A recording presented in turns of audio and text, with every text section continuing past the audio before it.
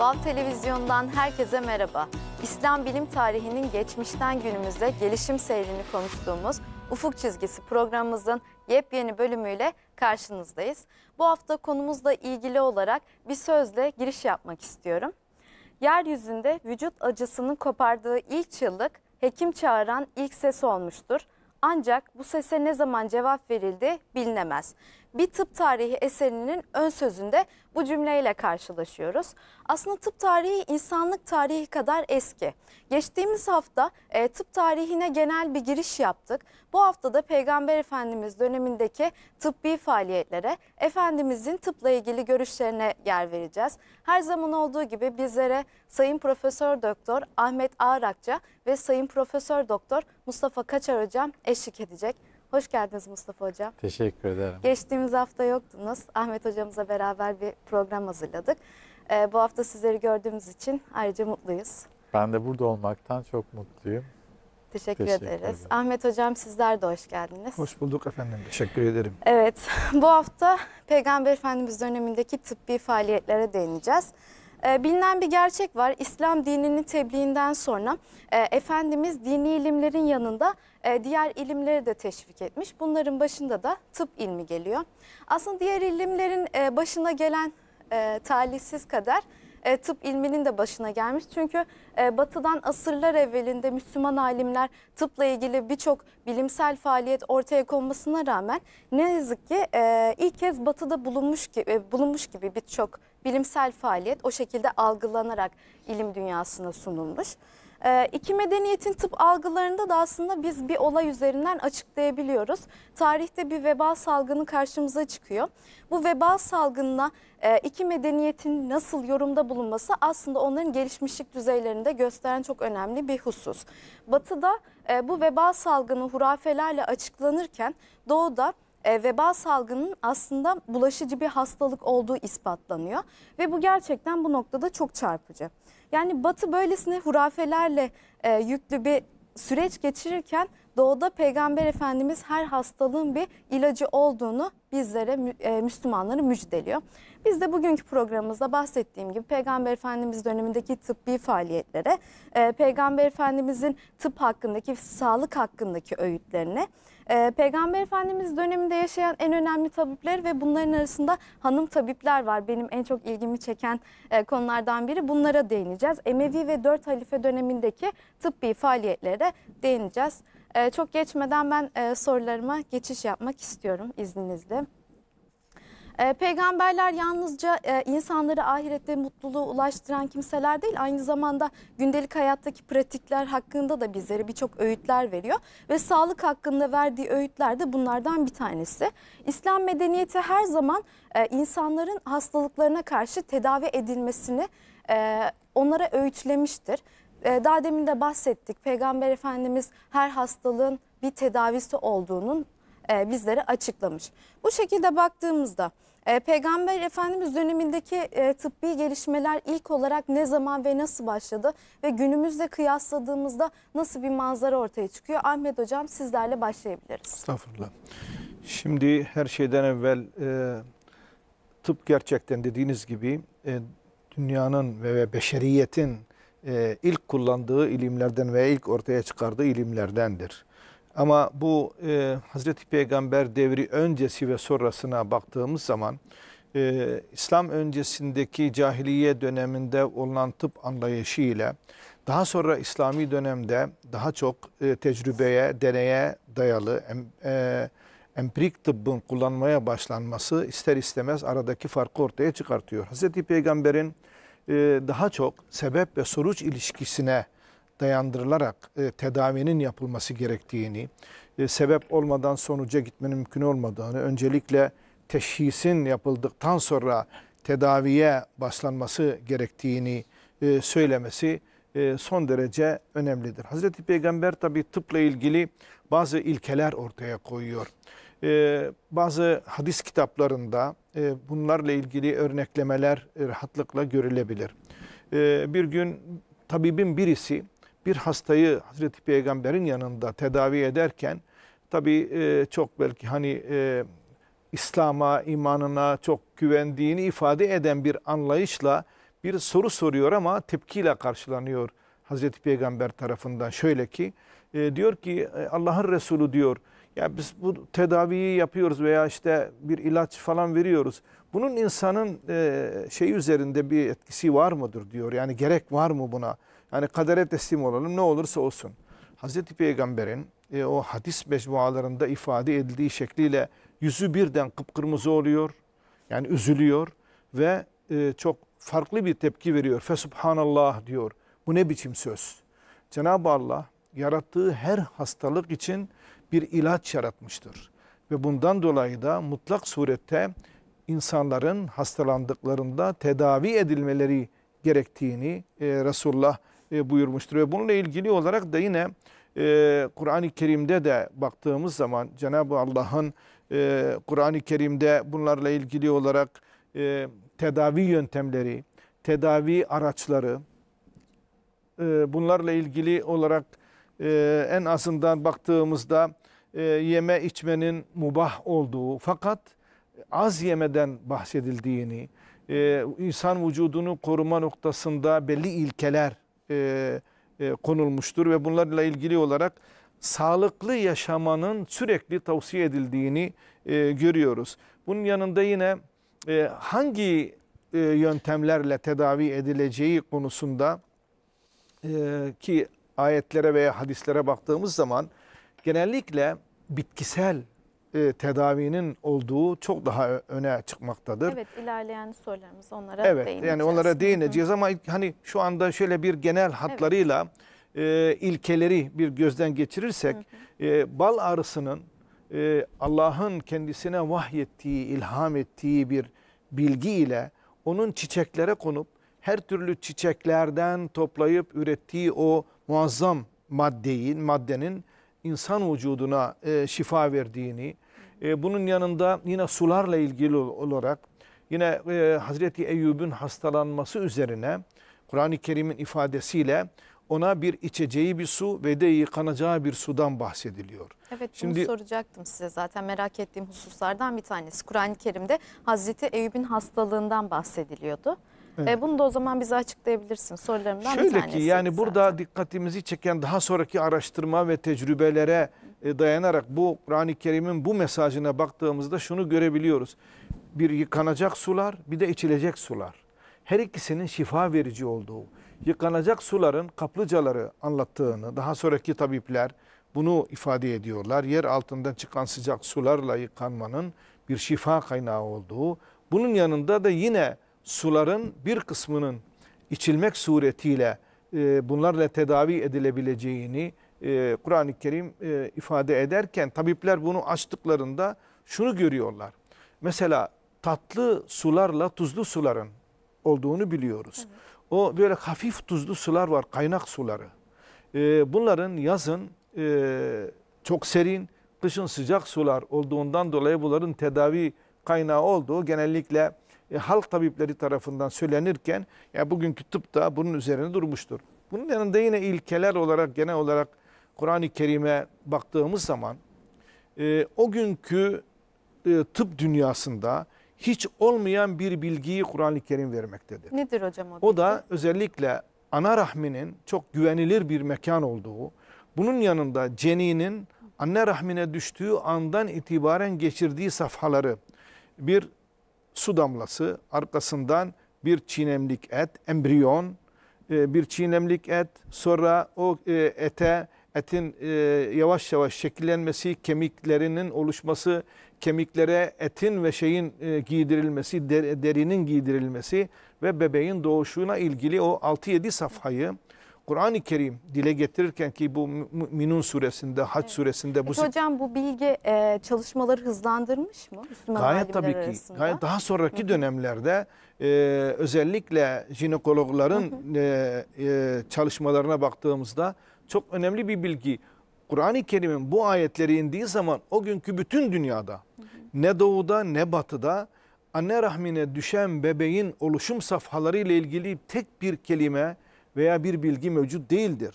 Ama Kur'an-ı Kerim bunu insanlara çok önemli bir bilgi olarak veriyor ve bunun üzerine tabii bina ediliyor. Şimdi Hazreti Peygamber'in e, genellikle hani e, halk arasında da veya genelde şimdi son zamanlarda e, alternatif tıp olarak genellikle bitkilere Evet, bitki dayalı tedavi Tıbbun. Nebi, e, Tıbbun Nebi adıyla e, yazılan kitaplar ki üzerinde duracağız Evet. birazdan. E, bir de hadis mecmualarında bir tıp Evet bölümü, bölüm olarak geçiyor bunlar. Ayrı bir bölüm olarak anlatıldığını Hı hı. biliyoruz hadis bir kitaplarında. tıp bölümü, Aha. bir de Tıbbun Nebi bölümü. Bunlarla ilgili alabildiğine çok hadislerin olduğunu görebiliyoruz. Ayrı bir tıp bölümü de mi var tıbbı nebevi harici? Nasıl? Şöyle hayır e, başlık olarak e, muhaddisler Evet. e, mesela işte e, bir hadis mecmuası Kitab-ı Tıp demiş yani tıp bölümü. Bir öbürü Tıbbun Nebi, Kitab-ı Tıbbin Nebi. Tabii yani ismi farklı. Peygamber tıbbı, bir de tıp bölümü diye hani hadis mecmuasının içerisinde bir bölüm olarak e, ayırmışlardır. Tabii burada e, genellikle e, hem tedavi yöntemleri hem tedavi araçları e, bunlar da anlatılmaktadır. Tamam hocam teşekkür ederim. Ee, Mustafa hocamıza ben sorayım. Peygamber Efendimiz dönemindeki ilk tıbbi faaliyetler nasıl ve ne şekilde ortaya çıktı ve biraz bu günümüzde olan kıyaslamasını da sizden dinleyelim hocam. Tamam, teşekkür ederim. Tabii e, İslam tıbbı konusunda kitap kalemi almış e, Ahmet Ağrakçı hocamın yanında ben şimdi tıp konusuna hocam pek öyle demeyin. dahil o e, söyleyecek ama genel hatlarıyla e, ben Peygamber Efendimizin İslam'ı müjdelemesiyle e, birlikte değişenler üzerinde durmak istiyorum. Evet çok Ee, sevinirim. ki bu daha önceki programlarımızda da zaman zaman dile getirdik. Modern insan profilinin oluşmasına çok büyük katkısı olmuştur. Çünkü günlük hayata dokunmuştur burada. Ee, İslamiyetle birlikte insanlar günlük hayatı da artık düzenlenmiş. E, bunda. Tabii daha önce baktığımızda tıp, e, tedavi, teşhis, semptomlar ve salgın hastalıklar bunlara dair e, yapılan ilaçlar, ilaçlar kullanımı konusunda epey insanlığın bir birikimi söz konusu. Tabii ki yani insanlığın doğumundan itibaren tıpla e, haşır neşir yani yakın olmak durumunda. E, belki dedik ama gerçekten de tıp, ebelik daha doğrusu insanlığın ilk bilim dalı olarak kabul etmek lazım. E, burada modern bir e, yaklaşımın ortaya çıktığını görüyoruz.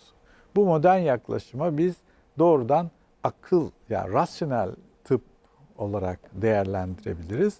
Çünkü daha önceki dönemlerde baktığımızda hemen hemen bütün medeniyetlerde tedavi Evet. aynı zamanda büyü, Büyü ve sihir, sihirliydi. Geçtiğimiz hafta bunu uzun uzadıya Evet, konuştuk. konuş- Hep onlarla bağlantılıydı. Ola- onlarla bağlantılı Evet. ama e, Peygamber Efendimiz'le birlikte artık rasyonel teşhisi koyacaksınız.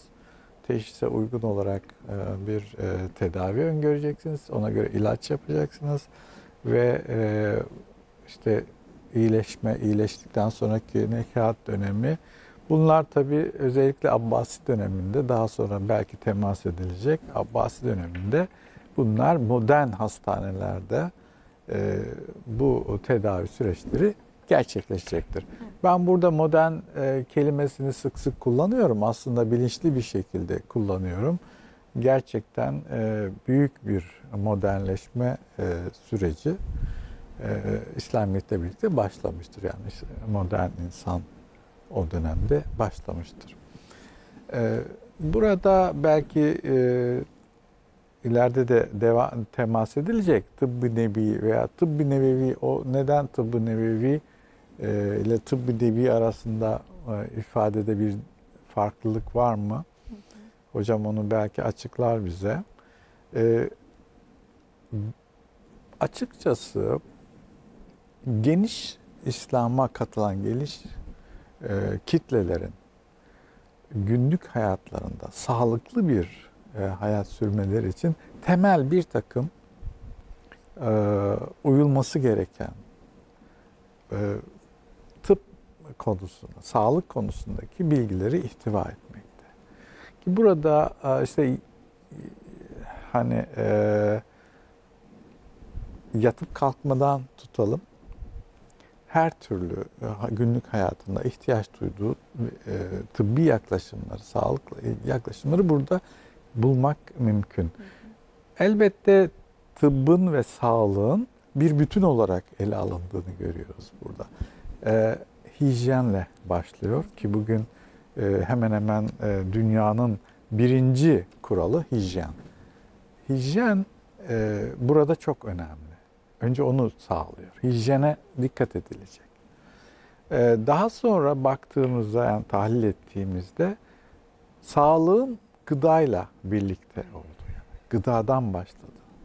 Burada seçilen gıdaların, gıdaların tüketiliminin hatta e, ne kadar tüketilmesi gerektiği, ne kadar çiğnenmesi gerektiği, ne evet varıncaya Peygamber kadar. Efendimiz dönemindeki bir e, tabip hatta şey diyor işte tıp perhizdir diyor. Benim Evet. en çok ilgimi çeken e, şeyden bir tanesi bu olmuştu. Evet. Yiyeceklerimiz bizim sağlığımıza çok çok çok e, doğrudan etkili yani. E, Dolayısıyla burada ciddi bir periz ve, ve tabii ki Kur'an-ı Kerim'de de bazı e, özellikle gıda maddeleri özel olarak yer almış. Zeytin gibi, bal gibi, nar gibi.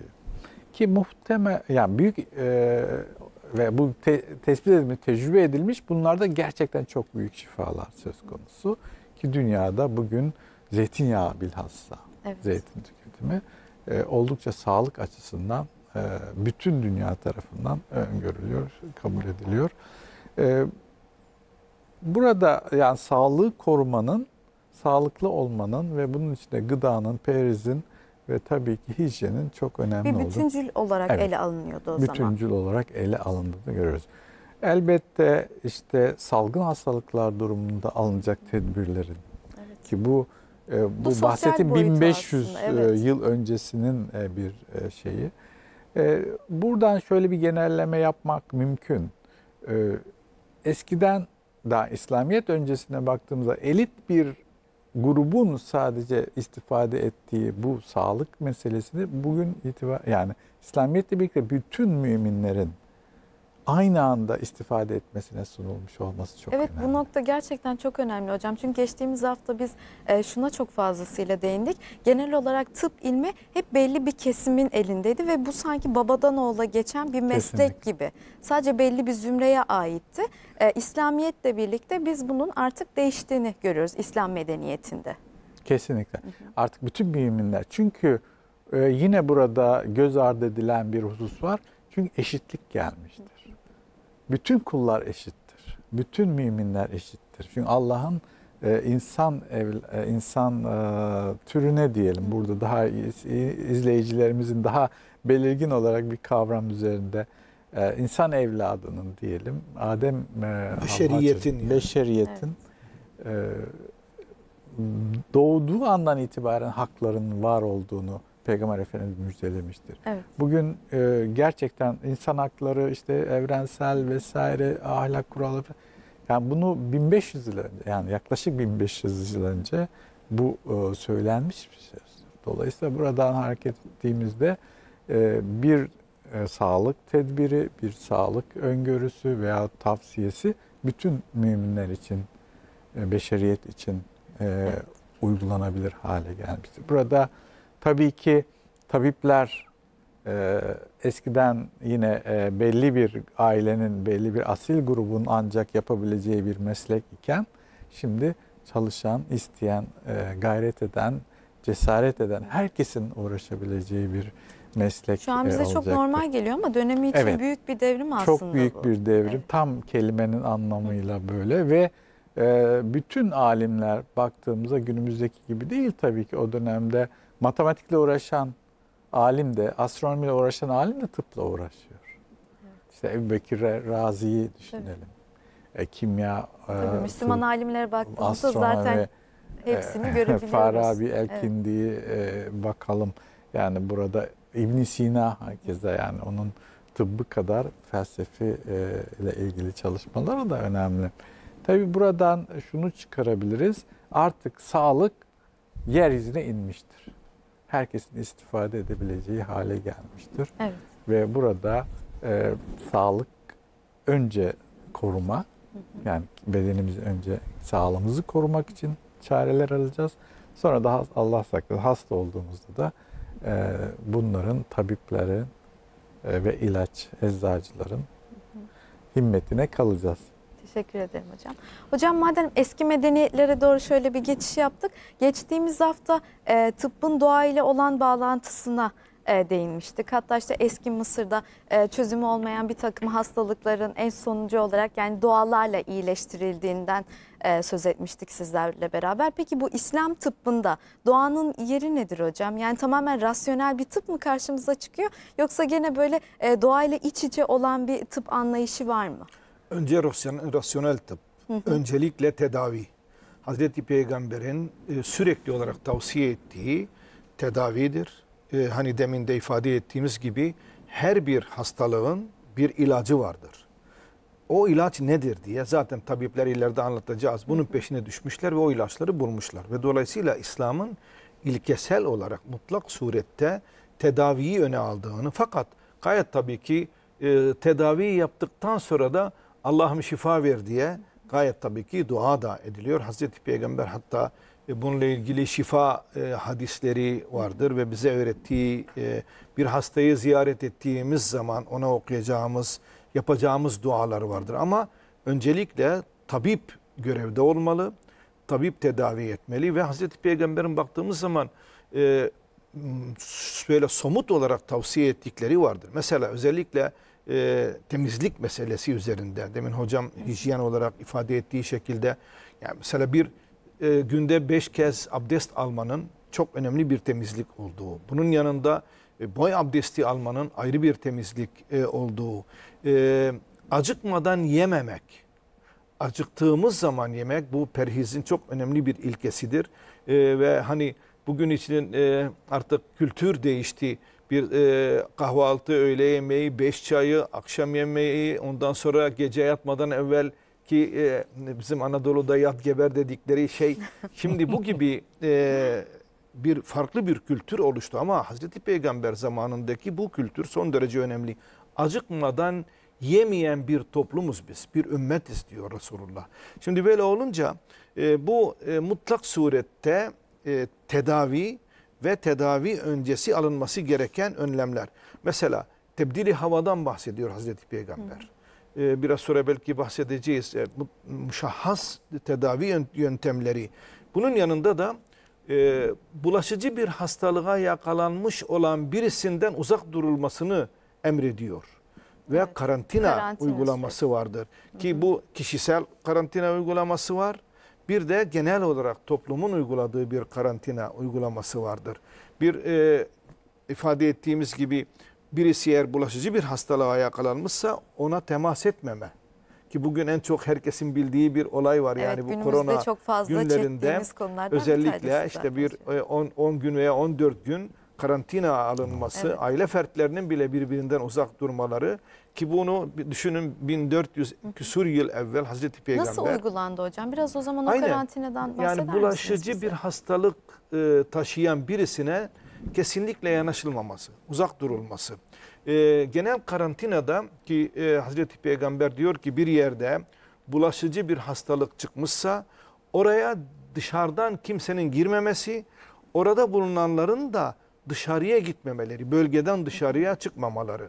Bu bir bölge karan, şey karantina uygulaması ki bunu da daha sonra Hazreti Ömer zamanında e, Suriye ve Kudüs bölgesi fethedilince o günlerde e, bir e, veba hastalığı, bir taun diye ifade edilen bir hastalık yayılıyor. Ve bunun üzerinde Hazreti Ömer nasıl bir tedbir alalım dediğinde Abdurrahman İbni Avf bir Hazreti Peygamber'den işte bu hadisi naklediyor. Diyor ki bir yerde bulaşıcı bir hastalık çıkmışsa oradakilerin dışarıya çıkmaması.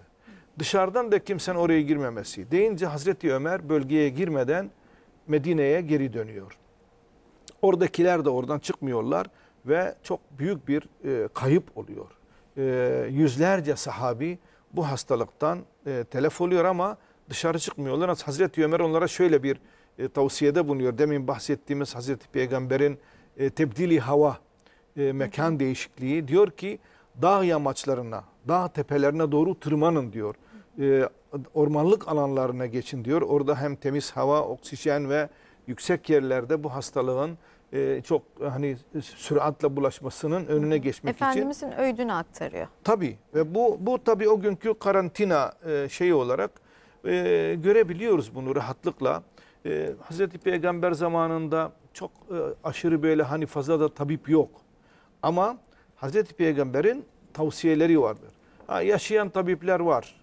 E, bu tabiplerle ilgili olarak belki vereceğimiz bilgiler vardır. Özellikle mesela bu tabiplerin e, başında Haris bin Kele de e, geliyor.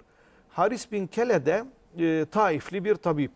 Yani Müslüman biliyor- değil değil mi kendisi? Efendim? Müslüman değil Müslüman değil, kendisi. müşrik. Evet. Ee, Bu önemli bir nokta Evet, müşrik e, olarak e, kal- sonradan Müslüman olduğuna dair işaretler var ama bilgiler biraz birbirine karışmış. O e, bilgilerin karıştığı şeylere girmiyoruz. Tamam. Fakat şöyle ki e, kendisi e, İran'da bir tıp eğitimi gördükten sonra oradaki bir şeyi e, valiyi strap diye ifade edilen bir o strabı tedavi ediyor. Nuşcan adında bir e, strap. Tedavi ettikten sonra kendi memleketine diyor- dönüyor bugünkü tabiriyle. Taif'e geldiğinde orada insanları tedavi ediyor. Hatta e, Hazreti Peygamber veda haccı günlerinde e, Sa'd ibn Ebi Vakkas göğsündeki bir hastalıktan, bir e, ağrıdan bahsedince ona diyor ki Haris bin Kelede'ye git seni tedavi etsin. Ve Haris bin Kelede'ye gittiğinde ona bazı bitkilerden ilaçlar yapıyor, bazı tavsiyelerde bulunuyor. Belki işte bugünkü tabiriyle egzersizler tavsiye ediyor. Ve bir müddet sonra o aldığı bitkisel ilaçlarla ve e, egzersizlerle e, Sa'd bin Ebi Vakkas tedavi oluyor. Bu hastalığı atlatıyor ve daha sonra işte e, Sasani İmparatorluğunu fethedecek bir kumandan olarak sağlığına kavuşuyor. Hocam Şimdi- şu nokta benim çok dikkatimi çekmişti. Peygamber Efendimiz sadece Müslüman e, tabiplerin değil aynı zamanda gayrimüslim e, tabiplerin de önerilerini dinlemiş. E, onların da yani bu bence çok önemli bir nokta. Gayet tabii Hani, ki evet. zaten şöyle. O zaman toplumun e, hepsi Müslüman olmamış ki. Hala müşrikler var Evet. ve o bölgede yani e, Arabistan bölgesinin hemen hemen genelinde Müslüman olan bir kitle var. Veda haccına geldiğimizde işte 120 bin kişiden bahsedebiliyoruz. Ama nüfus 120 bin kişi değil ki. Yani işte Taif e, hepsiyle Müslüman olmamıştır. Yine Mekke'de hala gizli gizli şirke devam eden insanlar vardır. Bunun yanında diğer bölgelerde. Şimdi tabiplerin hepsinin Müslüman olması zaten mümkün değil. Çünkü toplum tümüyle daha e, bütünüyle Müslüman olmamıştır. Ve ama dediğiniz gibi ilkesel olarak gayet tabii ki bu iş uzmanlık alanıdır. Yani bu işi sadece Müslümanlar yapar diye bir Tabii. olay yok. Uzman Ehlinin kimse yapmaması gerektiğini zaten ki Efendimiz. biraz sonra belki göreceğiz. Yani dört halife devrinde Emeviler devrindeki tabiplerin büyük bir ekseriyeti ya Hristiyandır ya Yahudidir o dönemlerde. Sonradan yavaş yavaş Müslüman tabipler ortaya çıkıyor. Hazreti Peygamber gayet tabii ki bu konuda ayrım yapmamıştır. Evet bu gerçekten çok Ee, şeye baktığımız zaman Haris bin Kele de o günkü şartlarda e, çok enteresan bilgiler veriyor. E, onun e, Nedir bu bilgiler hocam? onun el muhavere fit tıp yani tıpta diyalog diye e, kendisine sorulan sorular üzerine e, verdiği cevaplar vardır. Özellikle demin de e, üzerinde durduğumuz en önemli şey e, yeme içmelerle ilgili tavsiyeleri. Ama öncelik, öncelikle diyor ki akıllı olan kişi önce kendi hastalığının sebeplerini kendisi de teşhis edebilir diyor. Neden dolayı bu hastalık oluşmuştur? Yani hangi et- etkenler, hangi sebepler bu sonucu doğurdu diye kendisi zararlı olabilecek şeylerden uzak durmak suretiyle Evet. kendisini tedavi edebilir diyor ve e, en önemli onun en büyük hani ilkesel şeyi ortaya koyduğu ilkesi tıp eşittir perhizdir diyor. Es-Sekafi söylüyordu. Efendim? Es-Sekafi e, söylüyordu bunu hocam değil mi? Haris İbni Kele'de. Haris ibn Haris Kele'de es- Kele. evet, tabii Evet, Es-Sakafi. Es-Sakafi. Evet, Es-Sakafi. Sakifli yani. Evet. Ee, biliyorsunuz Taif'te kabilenin en büyük kabilenin ismi Sakif kabilesidir. Es-Sakafi e, veya Es-Sakifi, Sakafi şeklinde de söylenebiliyor. Şimdi e, Haris bin Kele de e, genellikle e, tıp perhizden ibarettir dediğinde yemek üstüne yemek yememek. Ki Hazreti Peygamber'in hadislerinde de bunu görüyoruz. Tok karna yemek yemeyiniz e, diyor. Bunun yanında e, yine temiz havada e, bulunmak, rahat ve mutlu bir hayat sürmeye çalışmak.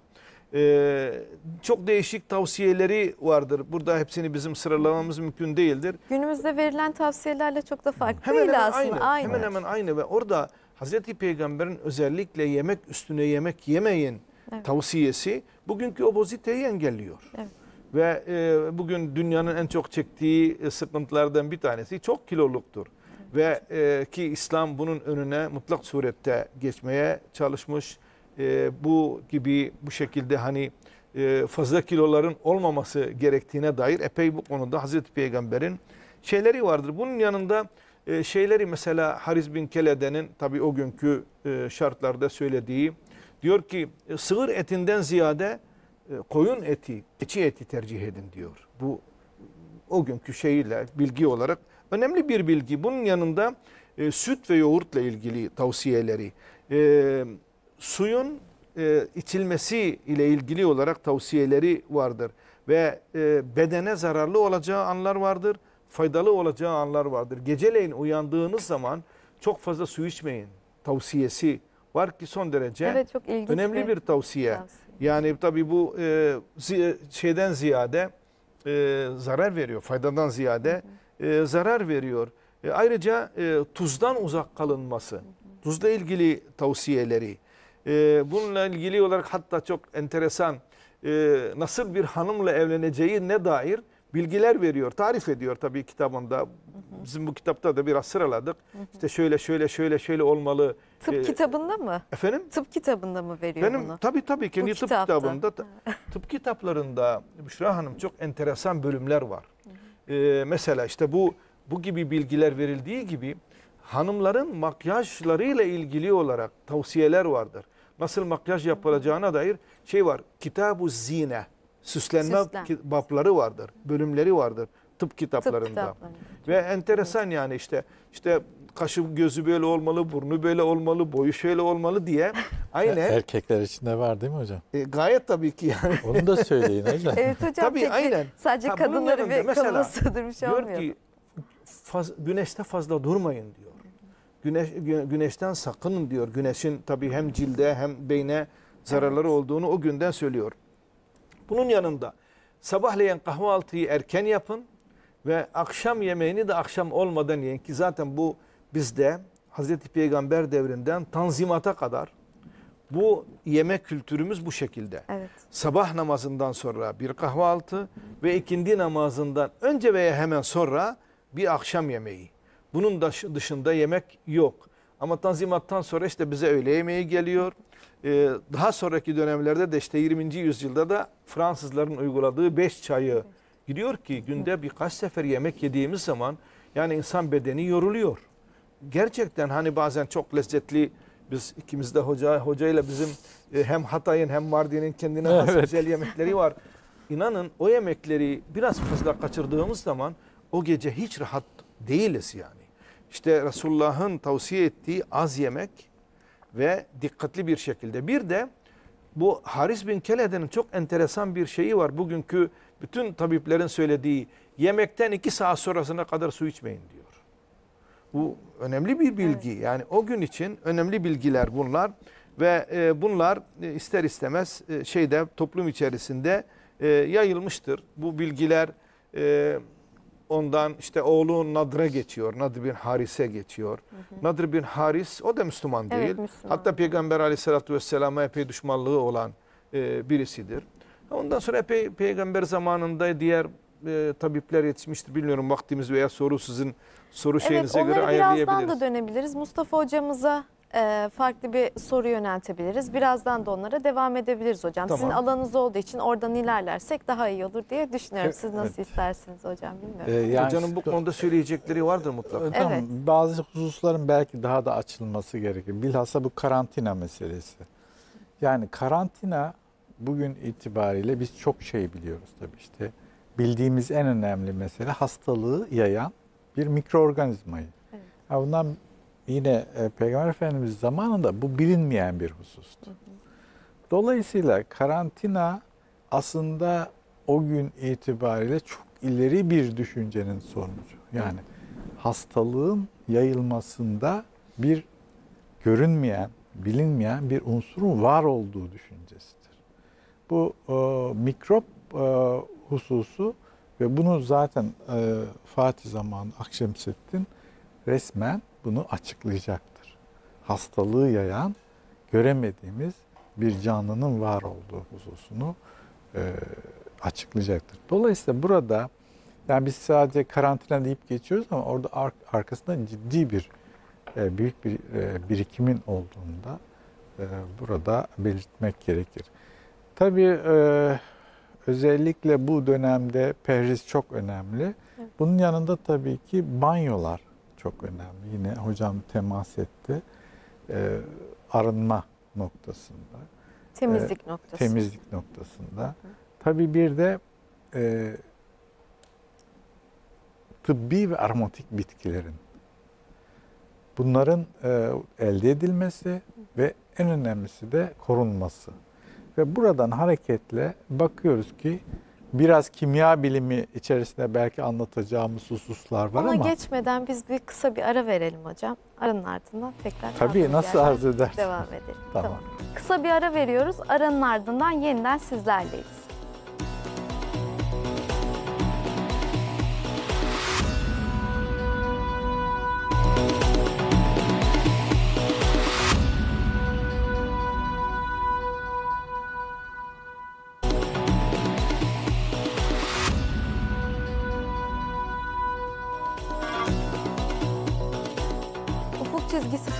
Programımıza kaldığımız yerden devam ediyoruz. Peygamber Efendimiz dönemindeki tıbbi faaliyetleri konuşuyoruz bu hafta. Ee, Mustafa Hocam kaldığımız yerden devam edebiliriz sizlerle. Ben Evet. e, Peygamber Efendimizin e, tıp anlayışıyla ilgili bir e, giriş yapmak istiyorum size. Evet. Ee, yani bir karantina üzerinde durmuştuk. Onu e, belirttik. Yani burada mikrop e, kavramı yok ama hastalığın yayılmasında bir etkin bir bir durumdan e, Onun varlığı biliniyor, ama Biliniyor. kavramsal ne olarak. olduğu bilinmiyor tabii ki. Ama muhtemelen bu o, tedbir amaçlı bu sö- e, söylenen bu hadis-i şerifte muhakkak surette farklı bir bilgi var, bilgi kaynağı var. Evet. Bir de genel anlamda biz e, günümüzdeki bilgi kaynakları dışında herhangi bir bilgiyi kabul etmiyoruz, reddediyoruz. Ama biz tabii kainatı bütünüyle tam olarak şu anda e, ihate edecek bir düşünceye sahip olduğumuzu söyleyemeyiz. Evet. Burada e, bilebildiğimiz kadar, e, açıklığa kavuşturabildiğimiz kadar bilim e, yoluyla, bilimsel bir şekilde olaylara bakıyoruz. Ama burada üst bir e, şey var. Bundan bahsedebiliriz. Bir diğeri ise gerçekten tedavide kullanılan e, tıbbi e, ve aromatik bitkiler. Bitkiler. Bu dediğim gibi biraz kimya konusu da işin içine giriyor. Çünkü eczacılık o dönemde kimya ile iç içe. Günümüzde de tabii ki kimya ile iç içe.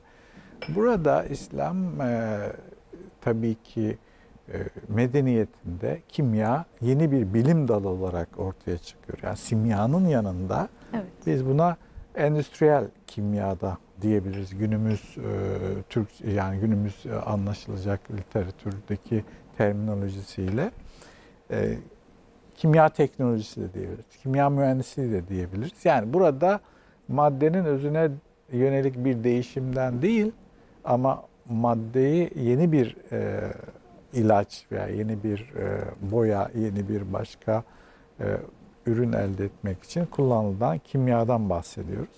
Burada baktığımızda bu tıbbi e, bitkilerin özlerinin çıkarılmasının yaygınlaştığını görüyoruz. Yani bitkinin insana yararlı olacak yağları, suları veya esansı bunların çıkarıldığını O dönemden görüyoruz. Evet. itibaren başlıyor o zaman. Çünkü bu defa. Siz e, bitkiyi canlı veyahut da e, taze haliyle korumak zorundasınız. Zaten çok zor bir şey. Evet. Ama onun yağı, onun e, usaresi, onun efendim esansını koruyabiliyorsunuz. Böylelikle e, daha ziyade e, hem sosyal bir e, ferahlık söz konusu hem de e, sağlık açısından birçok e, bugün bile günümüzde alternatif dediğimiz zaman o eski kadim e, geleneğin günümüzdeki teknolojiyle oluşan yeni versiyonlarını görüyoruz. Yani ilacı e, uzun süre ve bozulmadan korumanın yöntemlerini bulduklarını görüyoruz. E, tabii daha birçok unsur var burada. Hmm, e, tıbbi tavsiyeler açısından. E, burada e, yani e, açıkçası yeni bir teknolojinin geliştiğini de söylemek mümkün. Teşekkür ederiz hocam. E, Ahmet hocamla da biz e, Peygamber Efendimiz döneminde yaşayan tabipleri konuşuyorduk.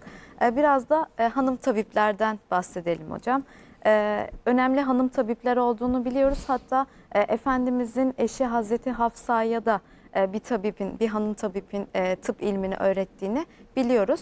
E, Bunları biraz sosyal yapı içerisinde değerlendirirsek yani sosyal yapıda kadın tabiplerinin çalışmaları ne kadar mümkündü, nasıl gerçekleşiyordu? Bunlardan da bahsederseniz çok Şimdi memnun Hazreti Peygamber her şeyden evvel kendi e, sahabelerini, ashabı e, her noktada eğittiğini de görebiliyoruz. Birçok hani ilmi teşvik etmesinin yanı sıra sağlıkla ilgili tavsiyeleri. Mesela diyor ki e, ne oluyor size ki benim yanıma böyle dişleriniz sarı sarı geliyorsunuz ve e, dişleriniz neden sarı diye ağız ve diş temizliği üzerinde e, durduğu gibi o dönemlere bakıyoruz ki genel olarak tıp alanında hangi konular ele alınmıştır? Mesela akıl hastalıklarının tedavisinden e, tutun e, ortopedik e, çalışmalara varıncaya kadar, ortopedik hastalıkların tedavisine varıncaya kadar kırıklar, çıkıklar, bunun yanında bazı cerrahi operasyonların olduğunu rahatlıkla görebiliyoruz. Kadın hastalıkların tedavi edildiğini görüyoruz. Hatta Şemmerdil İbni e, Kubab adında bir tabip var. Diyor ki Hazreti Peygamber'e bana kadın tabipler geliyor, kadın hastalar geliyor. Evet onun hakkında da bir e, Evet. şey soruyor değil mi? Bazı- kadın kadın hastalar geliyor. Bunlara bunları nasıl tedavi edeyim veya nasıl davranayım diye Hazreti Peygamber ona bir erkek tabip olarak gelen e, hasta kadınlara nasıl davranması gerektiğini, e, nasıl e, muayene etmesi gerektiğini, çok dikkatli olması gerektiğini, ona fıkhi yönden helal ve haram davranışların neler olabileceğini e, hepsini tek tek e, izah ediyor Ama Hazreti tedavi Pey- etmeyeceğini söylemiyor değil mi hocam? Tabii hayır. Hayır tedavi etmeyeceğini söylemiyor.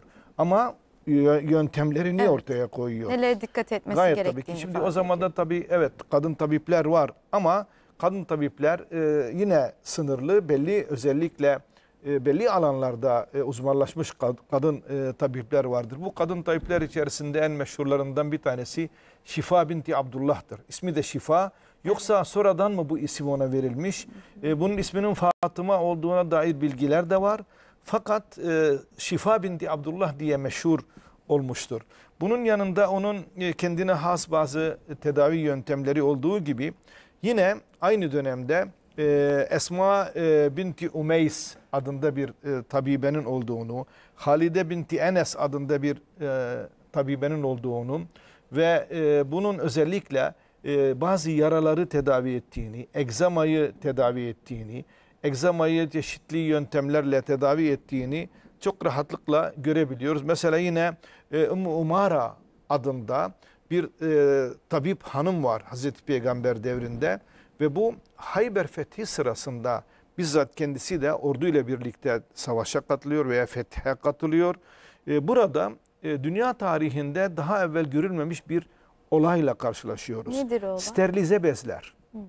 Ste- Hazreti Peygamber'in tarifi üzerine sterilize bezleri, yaraları sararken böyle rastgele bir bezle sarılamayacağını, elindeki bezleri kaynar suda kaynattıktan sonra bunları güneşe astığını ve bu bezlerle aynen sterilize edilmiş haliyle bu bezleri kullandığını e, görebiliyoruz. Yine Muavvis'in kızı Rübeyye adında bir e, hanım tabibin olduğunu, Leyla el-Gifariye adında veya el-Eslemi adında bir tabip hanımın olduğunu, Ümmü Sinan adında yine bir tabip hanımın olduğunu rahatlıkla e, bu o dönemde bunları görüyoruz ve bunların yaptıkları tedavi yöntemleri vardı. Demin söylediğiniz gibi Hazreti Aişe ve Hazreti Hafsa birçok tıbbi bilgiye sahiptirler. Hazreti Hafsa bu tabiplerden e, öğreniyor, e, hanım tabiplerden. Hazreti Ayşe de Hazreti Peygamber'in hastalığı günlerinde e, gelen kendisini ziyaret eden e, bilge insanlar, tabipler veya tecrübe sahipleri veya aynı hastalığı geçirmiş olan kimselerin kullandığı ilaçları Hazreti Ayşe'ye tarif etmeleriyle e, Hazreti Ayşe'nin bir tıbbi bilgisinin oluştuğunu görüyoruz. Bunun yanında e, yine Medine'de sürekli e, bir çadır görüyoruz. Sahra çadırı. Rufeyde çadır. Evet Rufeyde'nin Rufeyde'nin çadırı olarak biliniyor. Rufeyde'nin çadırı Medine'nin e, mescide yakın bir yerinde e, bir tarafında ve burada e, mesela çok bariz bir örnek olarak Hendek Savaşı'nda e, Sa'd bin Muaz'ın omuzundan yara alması üzerine Hazreti Peygamber diyor ki bunu Rüfeyde'nin çadırına götürün orada onu tedavi etsin. Ve Rüfeyde cerrahi e, tedavi yaptığını da bu şekilde öğrenmiş. Yani e, sadece kadınları tedavi etmiyor. Değil mi? tabii. Yani erke- kadın erkeği Evet, tedavi erkeği ediyor, tedavi erkek de kadını tedavi edebiliyor. Yani bu o günden beri bunu çok e, bariz bir şekilde Evet. e, görebiliyoruz tabii bunları. Tabii bütün bu e, dönemden itibaren Hazreti Peygamber'in gerek ashabına gerekse karşılaştığı tabiplere e, söyledikleri vardır. Anlattıkları vardır. Yani mesela Hazreti Peygamber diyor ki e, yürüyüş yapın diyor. E, koşunuz diyor. E, spor yapın anlamında. Şimdi biliyorsunuz e, çocuklarınıza ata binmeyi, ok atmayı ve yüzmeyi öğretin diyor. Evet. Bunların hepsi sağlıkla ilgili e, konular. Bir de Hazreti Peygamber yine e, hastalıkların iki tür olduğunu, bir e, kalbi ve nefsani hastalıklar, bir de bedeni hastalıklar diyor. Bu kalbi ve nefsani hastalıklardan genellikle psikolojik hastalıkları tarif ediyor. E, bunun yanında da bedeni hastalıklar da bizzat zahiri olarak bedenin e, ortaya çıkardığı sıkıntıları ve hastalıkları anlatıyor. Bunların da aynı şekilde iki türlü izah ediliyor. Bir, e, iç hastalıklar ve, ve cerrahi hastalıklar. İç hastalıkların ağızdan alınacak e, tedavi yöntemleriyle bunların tedavi edilebileceğini, e, dışarıdan olan yani cerrahi olan olayların da e, yine ilaçlarla fakat en son olarak e, son çare olarak yaranın kapanması için dağlama yapılabileceğini dağlama uygundur fakat en son çaredir diyor Hazreti Peygamber. E, ahirul deva el key diyor. Yani dağlamanın Dağlama. evet dağlamayı tavsiye ediyor ama son çare çare. olarak e, tavsiye ediyor ki bu son derece önemlidir. Yine aynı şekilde müzmin hastalıkların olduğundan bahsediyor ve en önemlisi sağlığı korumanın yöntemlerini anlatıyor. Hasta olmadan evvel sağlığınızı koruyun diyor. Ve bunun içinde e, mesela e, en güzel yolunun az yemek demin de ifade ettik. Az yemenin hastalığı, sağlığı korumanın en önemli e, özelliği olduğunu görüyoruz. Sağlık hatta- hususunda verdiği öğütler bunlar Efendimiz'in. Tabii daha sonraki şeyde de bunu görüyoruz. Ee, Hazreti Peygamber'in hadislerinde birçok olay sonradan tıp kitaplarına yansıyacak. Mesela hifdü sıhha diye e, bir e, terim ortaya çıkıyor. Bu da işte demin ifade ettiğimiz gibi Hazreti Peygamber'in az yemek yemek suretiyle sağlığınızı koruyun hadisinden hareketle bir de başka nelerin sağlığı koruyabileceğine dair tabiplerin araştırmalarını görüyoruz. Şimdi e, biliyorsunuz hafız sıhhat terimi bugüne kadar konuyor. Evet. Sağlığı Evet. koruma hatta hatta koruma. bizim şeyde e, Saraçhane'de eski hifz sıhha binası vardır. Osmanlı Hala zamanı. hala üzerinde hifz sıhha diye bugüne kadar e, o ibare e, bulunmaktadır. E, bunun yanında yine e, şeylerden e, mesela hastalıkları tarif ediyor Hazreti Peygamber. Çiçek hastalığı, cüzam hastalığı. Bunları tarif ederken mesela cüzam hastalığından çok enteresandır. Diyor ki aslandan kaçar gibi kaçın. Çünkü çok seri bir şekilde sari bir hastalık ve hızlı bulaşan bir Yayılması hastalık. daha hızlı oluyor. Bir de tabii e, özellikle sonradan tabiplerin yorumları diyorlar ki Hazreti Peygamber cüzam hastalığının mikrobunun aslana benzediğini biliyor muydu bilmiyordu bilmiyoruz ama aslandan kaçar gibi ondan kaçın diye söylemesi çok enteresandır. Cüzam mikrobunun o mikroskopla bugün incelendiğinde aslan yüzüne benzediği bir benzeyen bir mikrop olduğu e, bilinmektedir ki Evet. bu son derece e, enteresan bir bilgidir. Bunun yanında ateşli hastalıklardan bahsediyor. E, alaca hastalığından bahsediyor. Uyuz hastalığından yine Hazreti Peygamber'in bahsettiğini e, görüyoruz. E, karında meydana gelen ağrılardan, mide ağrılarından, e, ciğerlerdeki hastalıklardan, zat-ı ri'a, Zatur ri'a mesela deniyor. Şimdi zatürre şeklinde ifade ediliyor, ifade edilmektedir. Daha hani kolaylaştırılmış bir telaffuzu. Ama zatur ri'adır. Yani ri'a akciğerler. Ee, akciğerlerde meydana gelen hastalıklar anlamında bu kullanılıyor. Ee, yine e, bağırsaklarda meydana gelen hastalıklar ve bunların şeyleriyle bağırsakların e, tedavi edilmesiyle ilgili olarak gıdalarla bağlantı e, kurulduğunu görüyoruz. Yine mesela yine siyatikten bahsediyor Hazreti Peygamber. E, buna e, bu şeye irkun nesa deniyor. Bu Hazreti Peygamber'in hadislerinde geçmektedir. İrkun nesa siyatik hastalığı. E, bunun yanında cünun akıl hastalığı demin de ifade ettik ve ateşli hastalıklardan, hummalardan e, bahsettiğini görüyoruz ki e, bunların en şeyli olanlardan, iç hastalıklardan, işte kalp hastalıklarından e, bunların bir de bunların tedavileriyle ilgili yöntemleri de gösteriyor Hazreti Peygamber. Onları da işaret ediyor Evet. tedavilerini. Onlara da işaret ediyor. Hangi bitkilerin e, hangi hastalığa iyi gelebileceğini. Hocam demin bir cümleyle ifade ettiler. Taze e, meyvelerin ve sebzelerin yenmesi gerektiği, e, taze iken yenilmesi gerektiğini. Mesela yine nardan bahsediyor Hazreti Peygamber, pazıdan e, bahsediyor. E, bunun yanında en önemli şey olarak Hazreti Peygamber hastalıkların tedavisinde en etkili ilaç olarak habbetus sevda tabirini kullanıyor. Siyah Nedir çörek otu. Evet. Siyah çörek otu diyor ki e, her derde devadır illa sem diyor. E, Hazreti Ayşe diyor ki nedir o? Diyor Ölüm. ki ölüm. Ölüm hariç her derde devadır ve gerçekten de e, bu hadis üzerinde o kadar çok durulmuş ki bununla ilgili çalışmalar yapılmış. Hatta bakın burada ben Şu an bilimsel olarak bunun bir karşılığı var mı? Kesinlikle. Bakın olarak? burada e, Lübnan'da bir tabip e, bir doktora çalışması yapıyor. Et-tedavi bi habbetus sevda. E, siyah çörek otuyla tedavi, Tedavi. yöntemleri. E, bunu bu çalışmayı yapan Lübnanlı bir tabip ve bir doktora tezi bu. Bu son derece önemli. Hazreti Peygamber ki gerçekten bakıldığı zaman alabildiğine bilimsel e, bir çalışma ve e, bu konuda hatta ben e, bir e, İslam ve Bilim diye bir e, sempozyumda bu Habbetü Sevda ile ilgili bir kimyagerin sunumunu dinlemiştim. Yani harikulade bilgiler var. Onlara tabii e, vaktimiz müsait değil giremiyoruz. Evet. Ama gerçekten bu siyah çörek otunun bugün de dünyanın her tarafında yaygınlaştığını görüyoruz. Ben e, şahsen Hollanda'da yaşadığım e, dönemlerde bir eczaneye gir- girmiştim.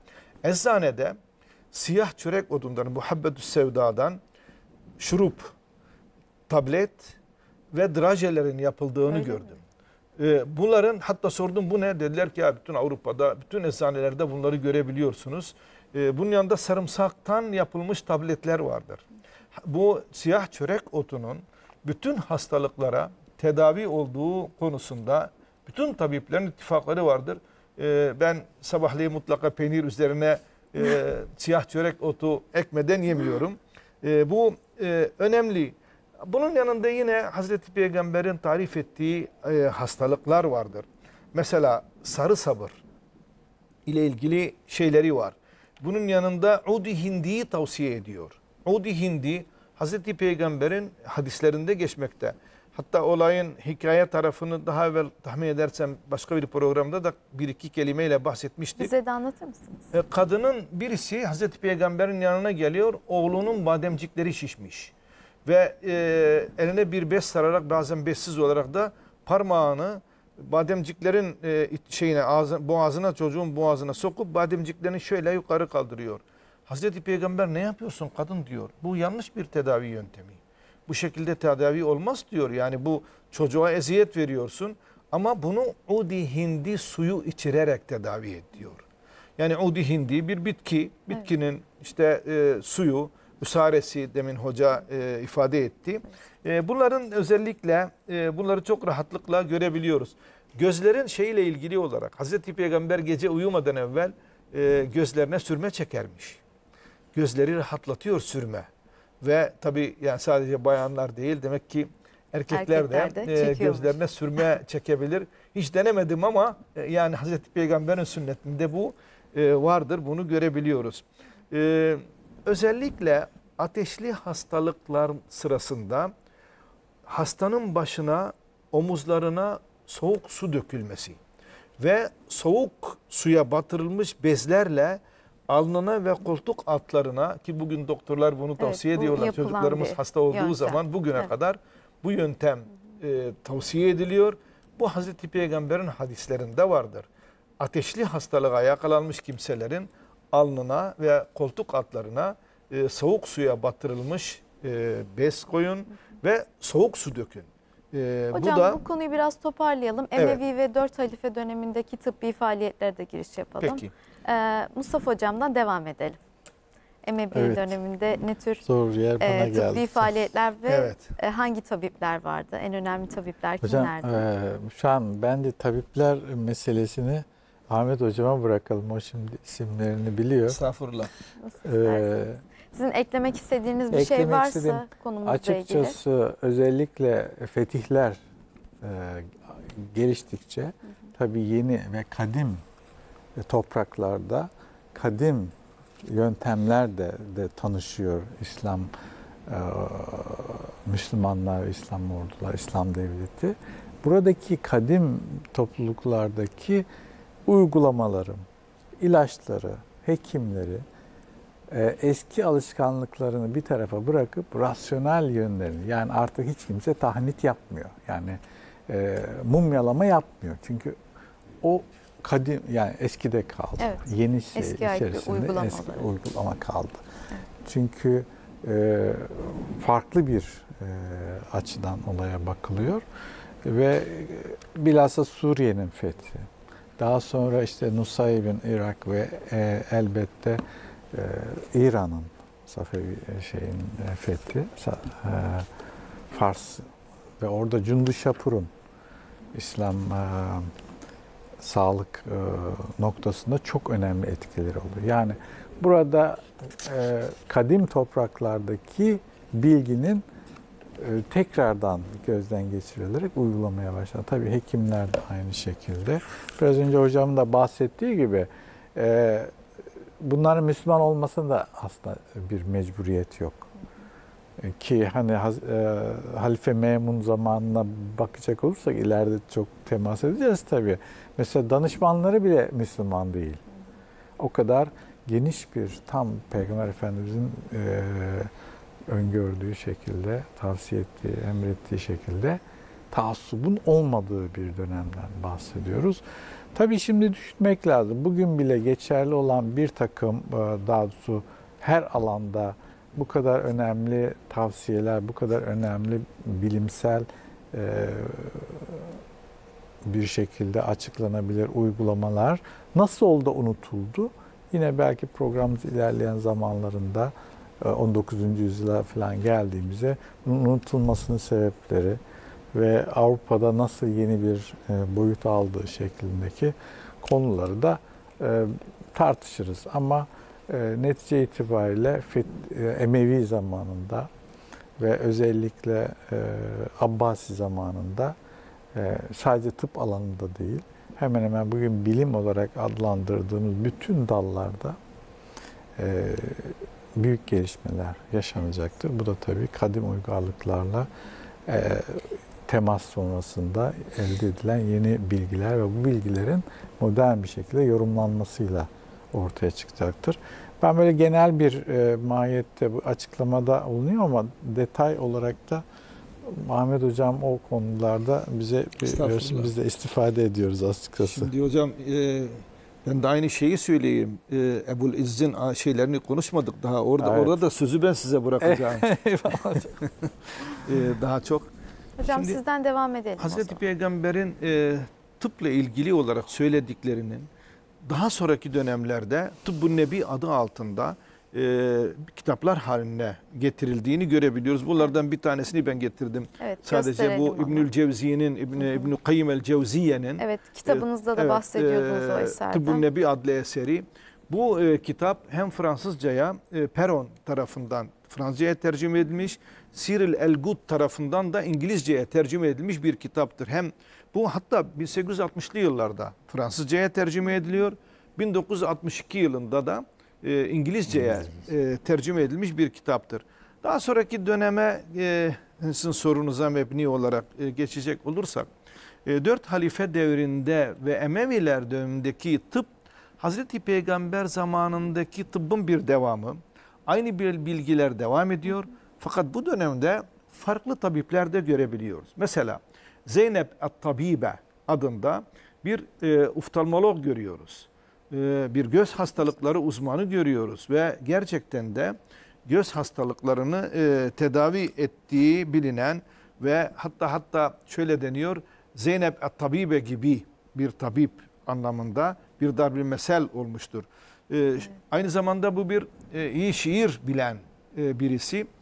Hatta bir gün şöyle onunla ilgili bir e, an- anekdot anlatılıyor.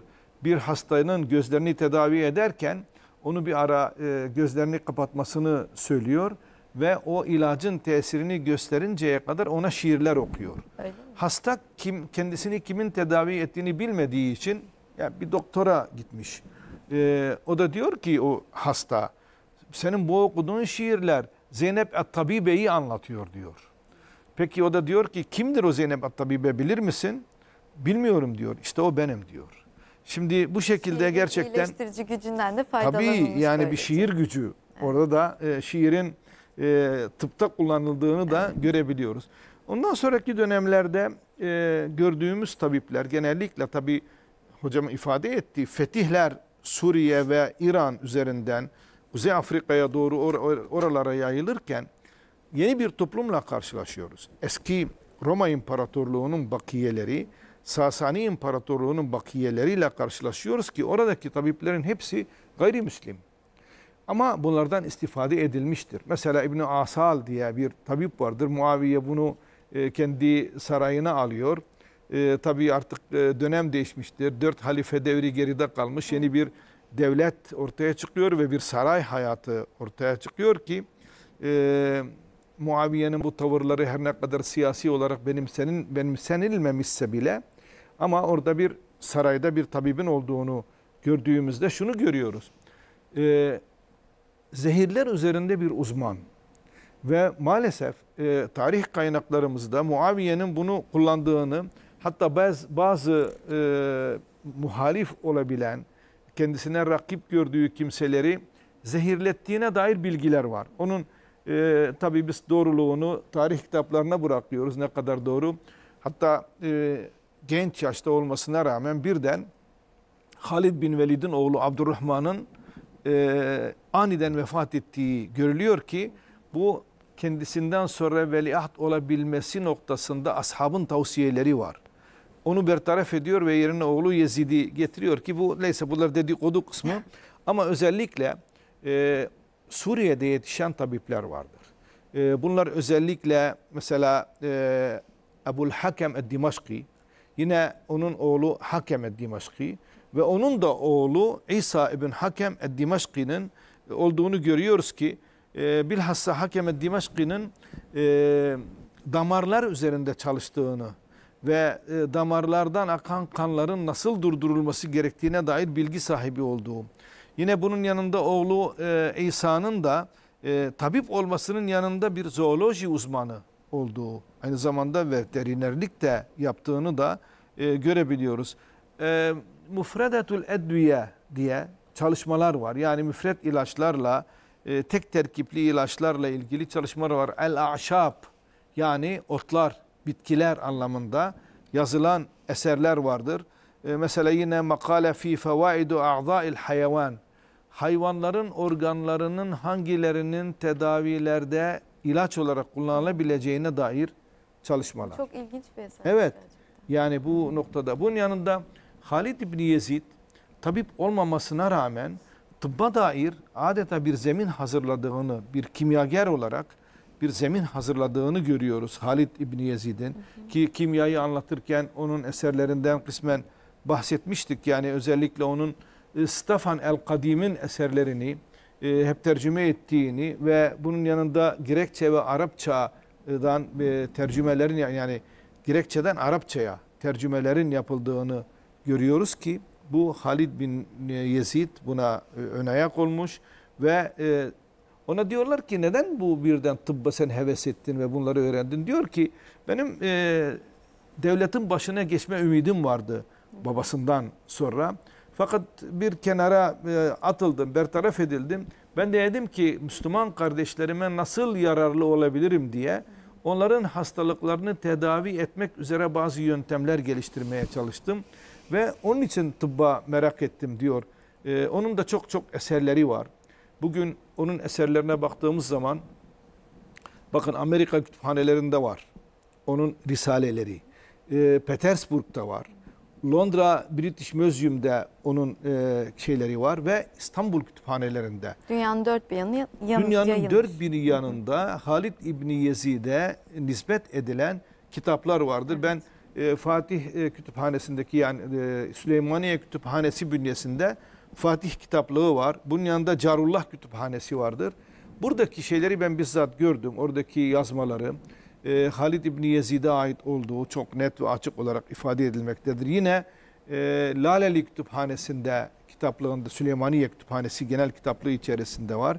Ve demin ifade ettiğimiz gibi Washington'da, Leningrad'da onun eserleri vardır ki ta o günden kalan adeta Hazreti Peygamber'in tıbbını yansıtan eserlerin olduğunu e, görebiliyoruz. E, bunun yanında yine e, yetişen tabiplerden birisi Maser Ceveyh el-Basri'dir. Maser Ceveyh'in de çok değişik e, görüşleri var ama onun üzerinde durmuyoruz. Sadece onun e, Kitabul Gıda yani gıdalar kitabı vardır ki e, ama o dönemin en önemli tabiplerinden birisi Tayazuk adındaki tabiptir. Bu hem dört halife devri hem Emeviler devrinde yetişmiş bir tabip. Özellikle Haccac bin Yusuf'un e, Irak valiliği sırasında onun yanında e, bulunuyor ve Haccac bin Yusuf'a tıpla ilgili alabildiğine e, tavsiyeleri vardır bunun. E, özellikle e, mutlaka yemekten sonra bir miktar şeyinden e, akşam yemeğinden sonra bir miktar yürüyüş yapılması gerektiğini söylüyor ki zaten hani dedik ya bir kahvaltı bir de akşam yemeği var başka Evet. yemek yok. E, şöyle hatta deniyor e, tekerleme haline getirmişler. Tegadda, tebedda, teaşşa, temeşşa şeklinde. Yani e, sabah kahvaltıdan sonra biraz şöyle bir rahatla e, çünkü erken kalkılıyor. Sabah namazından önce kalkılıyor. Gece namazı var, sabah namazı, sonra kahvaltı. Ha bu bundan sonra şöyle birazcık bir sırt üstü yat deniyor. Akşam yemeğinden sonra da mutlaka bir yürüyüş yap diye e, tavsiyeleri var. Hocam toparlayalım. Çok az Bitiriyoruz. kaldı. O zaman şöyle hani çok kısa bir şekilde e, Tayazuk'un alabildiğine şeyleri var, tavsiyeleri var ama Evet. biraz uzun sürüyor. Ben sadece onlardan birkaç tanesini En şöyle birkaç tanesini birkaç tanesini söyleyelim. zikredeyim. Ee, günde mutlaka bir defa banyo yapılmasını çok önemli olarak ki e, vücudun buna ihtiyacı olduğunu söylüyor. Bedenin e, kanı tam olmalıdır diyor. Yani feritinin normal sınırlarında olmasını tavsiye ediyor bugünkü tabirle Evet. ifade edersek. Yine e, her mevsimde mutlaka bir kez e, özür dilerim e, böyle ifade ediliyor. Bir kez mutlaka insanın midesini rahatlatması açısından kusması gerektiğini ve ishal olması gerektiğini ifade ediyor ki bağırsakların temizlenmesi ve oradaki floranın daha rahat çalışması için bunları söylüyor ki ki bugün e, bağırsaklar ikinci beyin olarak kabul Evet. edilmektedir ki son derece önemli o günkü e, şeylerle ilgili yine uyumadan önce mutlaka e, idrarın yapılmasını e, tavsiye ediyor E, ve hatta binek üzerinde bile olsanız yolculuk sırasında idrarınızı tutmayın diye tavsiye etmesi önemli tavsiyelerdir. Kitabı e, Kitabul Edviye diye onun eseri vardır. E, bunun yanında yine Kitab-ı Hifzus Sihha, sağlığı koruması ile ilgili çalışması vardır. Yine El Fusul Fit Tıp adlı bir eseri vardır ki bunlar e, o gün için bakir çalışmalardı. Ve ondan sonra zaten e, şeyi göreceğiz belki gelecek programda. Tıbbın yavaş yavaş böyle e, yükseldiğini e, demin hocam ifade Evet. etti. Abbasiler devrinde Me'mun döneminde Evet. Beytül Hikme'de yetişecek tabipleri gelecek hafta konuştuğumuzda belki bu konuları daha iyi anlatmaya anlatma imkanımız olacak. Çok teşekkür ederim hocalarım. Ağzınıza sağlık. Ee, Peygamber Efendimiz dört halife ve Emevi e, devletleri dönemindeki tıbbi faaliyetleri konuştuk bugün Ufuk Çizgisi programımızda. Programımızın sonuna geldik. Bir sonraki hafta yepyeni bir bölümde karşınızda olmak dileğiyle. Sağlıcakla kalın.